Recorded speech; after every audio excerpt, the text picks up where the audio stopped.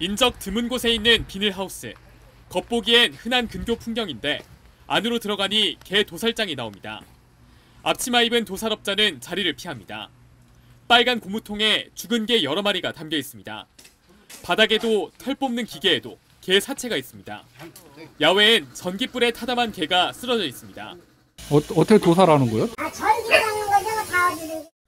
냉동고에도 개 사체가 들었습니다. 현장에서 발견된 것만 총 13구입니다.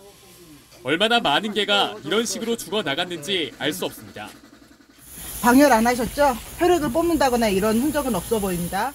철창엔 아직 살아있는 개들이 있습니다. 옴짝 달싹도 못한 채 다른 개들이 죽는 걸 봐야 했습니다. 다른 개들 보는 앞에서 지금 작업이 지금.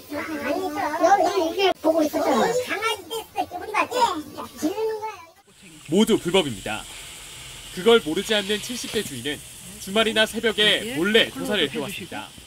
개를 도살하고 있다는 민원인이 제보하여서 어, 우리 특사경들이 한 달간 잠복 수사를 실시했습니다. 들키고 나선 먹고 살려고 한 일이라고 변명했지만 동물 학대 혐의를 피할 순 없습니다. 올해만 이런 동물보호법 위반 시설 11곳을 적발한 경기도는 단속을 이어갈 계획입니다. JTBC 이승환입니다.